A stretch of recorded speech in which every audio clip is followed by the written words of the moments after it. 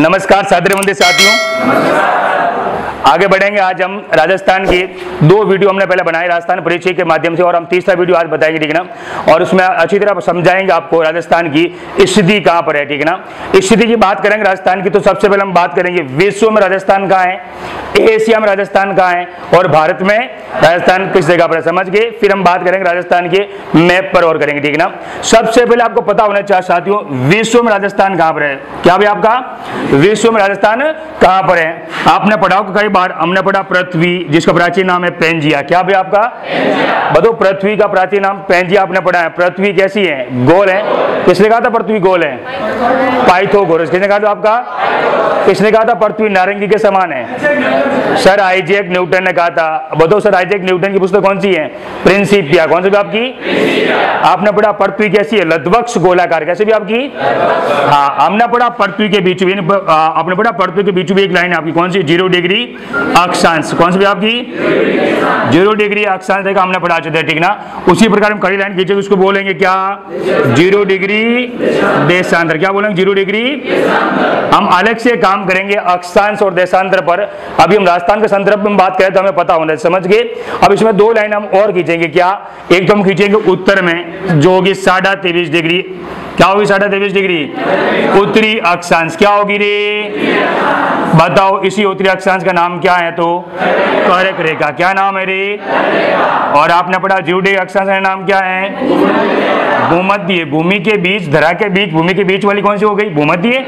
और इसका अन्य नाम क्या आता है? विषुवत रेखा। कौन सी आपकी? समझ गए? उसी प्रकार हम लाइन यदि दक्षिण में एक और खींचे देखिए गोलार्ध में। समझ गए? तो ये कौन सी है? साढ़ा तेईस डिग्री। दक्षिणी अक्षांश कौन सी होगी रे?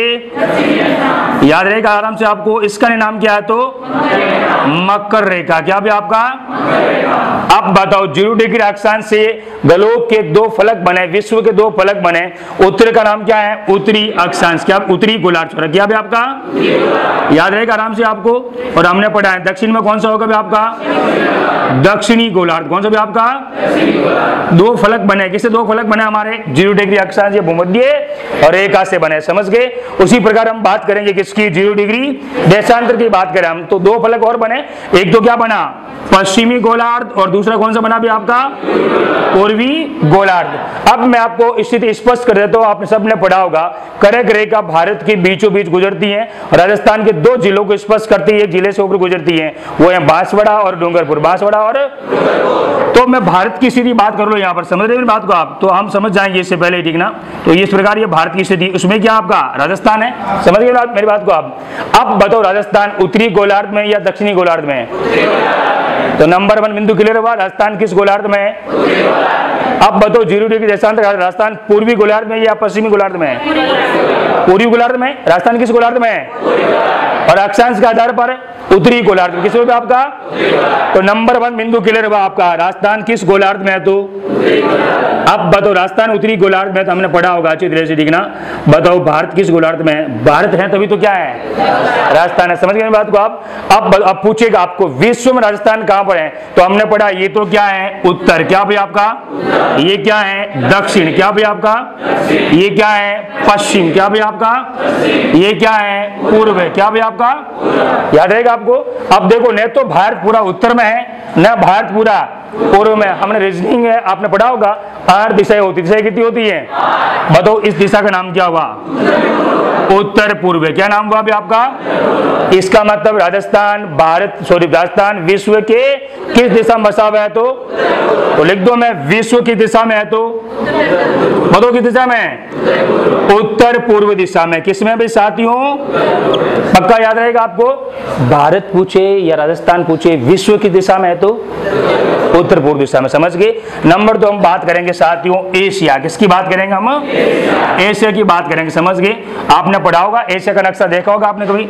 इस प्रकार एशिया का नक्शा बना हुआ है। ठीक ना? थोड़ा सही नहीं बना तो इसको आप एडजस्ट कर लेना, ठीक है ना? ये पूरी तरह आपके जापान वगैरह इसमें आएगा, ठीक है ना? इसमें हम पार्ट कर देंगे, ये तो क्या हो जाएगा आपका यूरोप। क्या हो जाएगा आपका? ये क्या हो जाएगा आपका? एशिया। क्या हो जाएगा आपका? आपने पढ़ा होगा इस प्रकार ये भारत बना हुआ। समझ गए? अब बताओ एशिया के भारत। हमने पड़ा यहाँ पर क्या पड़ता है आपका? राजस्थान। क्या पड़ता है आपका? ये एशिया का उत्तर। मैं लाइन खींच देता हूँ। वन टू थ्री फोर समझ गए बात को आप? ये क्या हुआ? दक्षिण। क्या हुआ आपका? ये क्या हुआ? पश्चिम। ये क्या हुआ? पूर्व। समझ गए? अब राजस्थान कहाँ है? इस लाइन में है। बताओ ये कौन सी दिशा हुई हमारी? दक्षिण दक्षिण, कन्फर्म कन्फर्म, विश्व में भारत कहाँ पर था? उत्तर पूर्व में कहाँ पर था? पक्का याद रहेगा आपको? बताइए, एशिया के भारत कहाँ पर है? दक्षिण पश्चिम में कहाँ पे आपका? तीसरी हम बात करेंगे किसके? भारत की बात करेंगे। किसकी बात करेंगे हम? आप बताओ, मैं आपको नक्शा बना के बताता हूँ अभी, ठीक ना?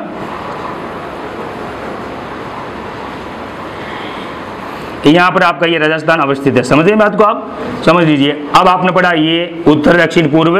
ये उत्तर, ये क्या भी आपका? दक्षिण, ये क्या? पश्चिम और ये क्या है? पूर्व। अब बताओ ये राजस्थान किस दिशा में है? उत्तर पश्चिम में कहा भी आपका? उत्तर अब बताओ, विश्व के उत्तर पूर्व में एशिया के, दक्षिण पश्चिम और भारत के? भारत के। तीन स्थिति आपने पढ़ी, नहीं पढ़ी आपने अच्छी तरह से? और पक्की माइंड में होने से याद हुआ कि नहीं हुआ आपको? समझ में आया कि नहीं आया आपको? चलिए आगे आगे बढ़े यहाँ से। तो भारत की स्थिति यहाँ से आपकी क्या हो चुकी है? क्लियर, जब हम इसकी बात करेंगे ग्लोब की और बात करेंगे, वहाँ मैं बताऊँगा, उत्तरी गोलार्ध सबसे बड़ा दिन, सबसे छोटा दिन, समझ गए? और आपने पढ़ा होगा अच्छी तरह से। पृथ्वी पर दिन रात बराबर कब होते हैं? वो सब डेट है। और कर्क रेखा को दो बार काटने वाली नदी मकर रेखा को दो बार काटने वाली विश्व रेखा को दो बार काटने वाली अच्छी तरह हम पढ़ने वाले ठीक है ना? जनरल जानकारी मैं अभी आपको बता सकता हूँ ठीक है ना? इसमें हम आगे और पढ़ने वाले हैं ठीक है ना? तो आपको पता होना चाहिए हम चार डेट पढ़ते हैं। कितनी डेट पढ़ते हैं हम? एक पढ़ते हम इक्कीस मार्च। क्या पढ़ते हैं हम? एक पढ़ते हम तेईस सितंबर। कौन सी भी आपकी? एक पढ़ते हम इक्कीस जून। कौन सी भी आपकी?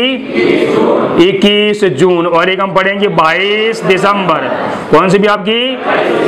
साथियों, उत्तरी गोलार्ध सबसे बड़ा दिन कब होता है? और दक्षिण गोलार्ध सबसे बड़ा दिन कब होता है? बाईस। आपने पढ़ा पृथ्वी पर दिन रात बराबर कब होते हैं? ये डेट याद कर लेना, अगले वीडियो में बताऊँगा मैं आपको अक्षांश और देशांतर, उसमें बहुत सारा काम आएगा। सूर्य उत्तरायण कब होता है और दक्षिणायन कब होता है, ये कंडीशन आपको पता होगी। तो बताऊँगा मैं राजस्थान में, भारत में, या विश्व में, दिन रात बराबर कब होते हैं? उत्तरी गोला सबसे बड़ा दिन कब होता है? बड़ी रात कब होती है? समझ गए? आगे बढ़े यहाँ से। ये तो क्लियर है आपका। विश्व में भारत कहाँ पर है? राजस्थान कहाँ पर कहाँ पर भी आपका? उत्तर विश्व में पूछ रहा हूँ मैं आपका। उत्तर पूर्व है भारत में, उत्तर पश्चिम में एशिया में। कन्फर्म याद हुआ नहीं हुआ आपको? चलिए हम अगली बात करेंगे राजस्थान के मैप पर आकर के, ठीक है ना? हम टुकड़ों में टुकड़ों में इसको पढ़ते जाएँगे लगातार और धीरे धीरे क्या कर लेंगे इसके राजस्थान के मैप को, राजस्थान की सामान्य जानकारी को पूरा कर लेंगे, ठीक है ना? चलिए आगे। आपने पढ़ा होगा राजस्थान का जो मैप है उसकी आकृति कैसी है? पढ़ा होगा आपने किस कै, कैसी है? नंबर एक आपने पढ़ा है विषम कोणीय। कैसी बात की? विषम कोणीय क्या? चतुर्भुज। क्या भैया आपका? विषम कोणीय चतुर्भुज या पतंगाकार या किसने कार्य टी एच हेडले किसने कहा था आपका? टी एच हेडले ने आकृति कैसी बताई? विषम कोणी पहली बार शब्द प्रयोग किया था किसके लिए? राजस्थान के लिए। किस लिए प्रयोग किया था? समझ गए? जब हम भारत की बात करेंगे, मैं आपको पढ़ाऊँगा। बी पार्ट का एक शानदार टॉपिक जो सब में कॉमन है, रीट, और आपने पढ़ा होगा, राजस्थान पुलिस में और अन्य वैकेंसी में जो आपके एनटीपीसी वगैरह में, ठीक है ना? उस में आएगा, हम भारत की बात करेंगे। भारत को त्रिभुजाकार या पतंगाकार करने वाला एक बंदा और आएगा वहाँ पर। यहाँ तो कौन पढ़ा आपने आपने टी एच हेडले पढ़ा आपने ठीक है ना अब हम बात करेंगे साथियों राजस्थान की बात ही ठीक है ना ये राजस्थान का सबसे उत्तरी छोर है। ये क्या है? ये क्या है? ये क्या भी आपका? ये आपका पूर्वी छोर है। क्या भी आपका? आगे बढ़ो यहाँ से। देखो सबसे पहले बात करें, राजस्थान के उत्तर से दक्षिण की लंबाई क्या है तो हम क्या पढ़ेंगे? 826 किलोमीटर। क्या भी आपके? सबसे सामान्य जानकारी, समझ रहे बात को आप? और आपने पढ़ा, राजस्थान के पूर्व से पश्चिम लंबाई कितनी है? आठ सौ उनसीतर किलोमीटर। कितनी भी आपकी? कन्फर्म याद रहेगा आपको। हम, अब मैं आपको बता रहा हूँ, ठीक है ना? बता क्या रहा हूँ आपको? राजस्थान का सबसे उत्तरी छोर, कौन सा भी आपका? एक गाँव पड़ता है, कौन सा? कोणा गाँव। कौन सा भी आपका? कोना गाँव है, जो गंगानगर तहसील में। किसमें अभी आपका? और गंगानगर तहसील, गंगानगर की बात करें, ये कहाँ पर आपका? श्री गंगानगर में। कहा भी आपका? समझ के दक्षिणी छोर है आपका, कौन सा? बोरकुंडा या बोरखेड़ा? बोरकुंडा। कुंडा या बोरखेड़ा समझ गए बोर बोरखेड़ा है? चलिए आगे, बोरकुंडा, तहसील कौन सी आपकी? कुशलगढ़। कौन सा भी आपकी? और जिला कौन सा आपका? बांसवाड़ा। कौन सा भी आपका?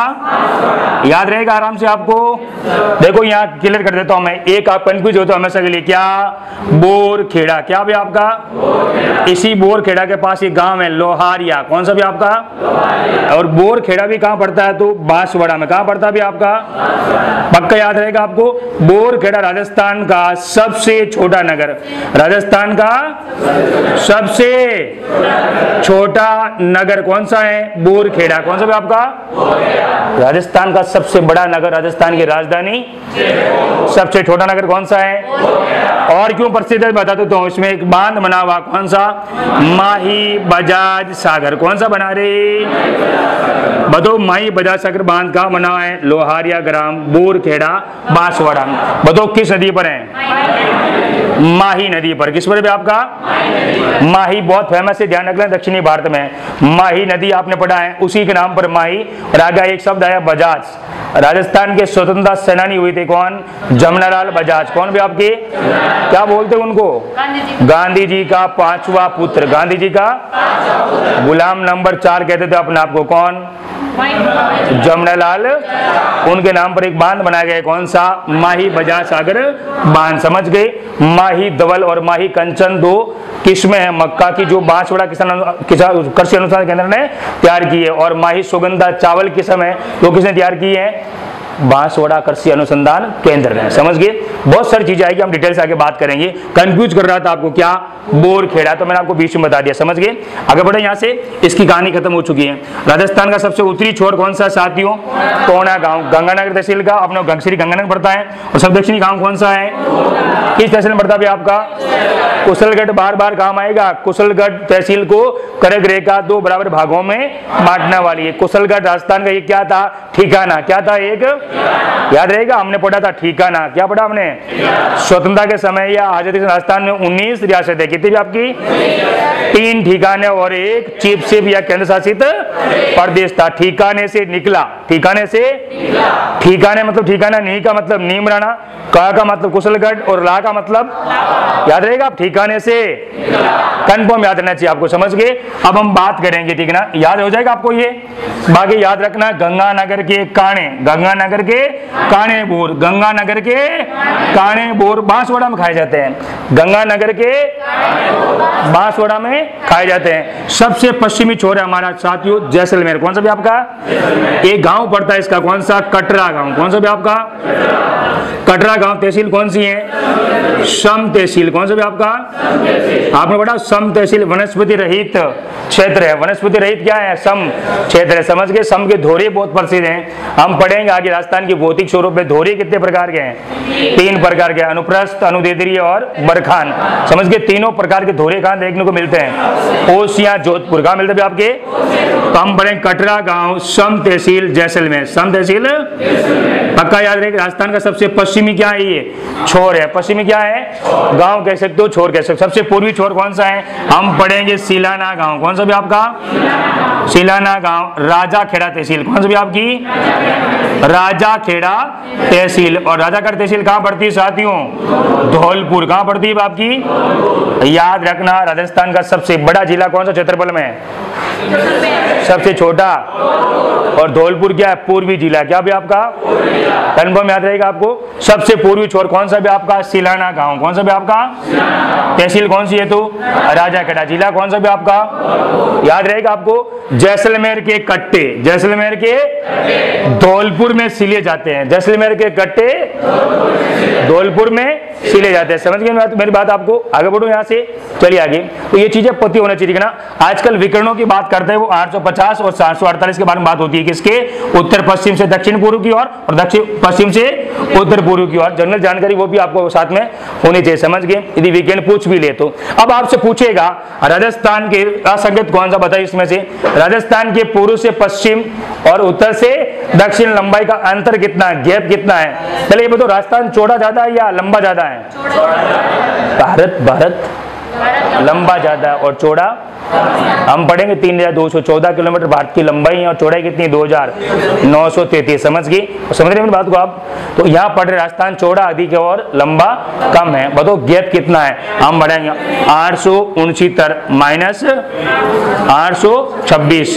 कितनी मैथ बताइए? फोर्टी थ्री या फोर्टी टू वेरी गुड तैयलीस किलोमीटर का क्या है? गैप है। क्या भी आपका? आगे मैं अक्षांश पढ़ाऊँगा देशांतर पढ़ाऊँगा बहुत शानदार क्वेश्चन आएँगे। किसके? राजस्थान के बारे में। किसके आएँगे भी आपकी? तो वो अच्छी तरह से आपको पता होना चाहिए किस प्रकार इसको हम सॉल्व कर सकते हैं। समझ गए? वैगनर सिद्धांत के आधार पर हमारे नक्शे काम करते हैं या मैप बनते हैं। समझ गए? चलिए आगे। अगला काम करते हैं आज ठीक है ना? अगले वीडियो में हम आपसे बात करेंगे अक्षांश और देशांतर के बारे में। किसकी बात करेंगे? अक्षांश और देशांतर के बारे में बात करेंगे, समझ गए? तो ठीक है, आज कितने ले पाएँगे। धन्यवाद।